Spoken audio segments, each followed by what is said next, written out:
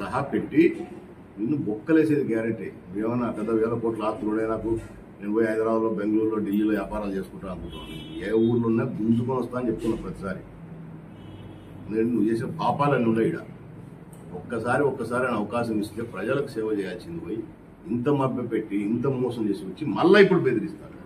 నేను ఒకటే శ్రీశైల గ్రామ ప్రజలకు దయచేసి మన మీడియా ద్వారా విజ్ఞప్తి చేస్తా ఉన్నా వాళ్ళ ఇల్లు తిరిగినప్పుడు కూడా వాళ్ళకు కూడా చెప్తా ఉన్నా. ఎవ్వరు కూడా అధైర్యపడొద్దండి.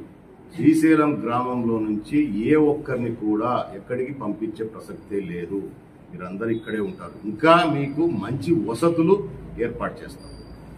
ఇప్పుడున్న పరిస్థితి కాదు.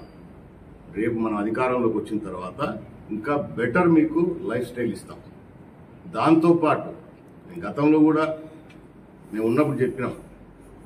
చంద్రబాబు నాయుడు గారు పదే పదే చెప్పినారు. టెంపుల్ టూరిజం కింద శ్రీశైలం దేవస్థానాన్ని ఆధ్యాత్మిక కేంద్రంగా దీన్ని ఇంకా అభివృద్ధి చేస్తాం.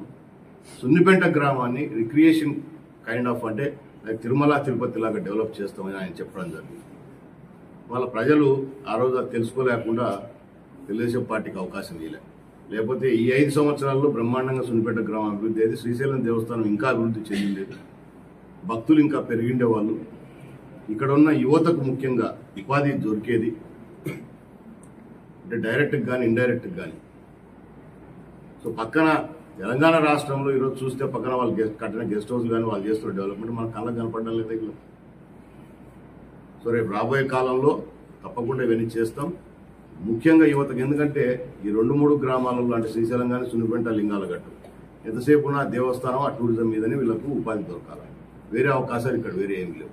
కాబట్టి అందరికీ నేను విజ్ఞప్తి చేసేది ఖచ్చితంగా మీరు తెలుగుదేశం జనసేన పార్టీని ఆదరించండి.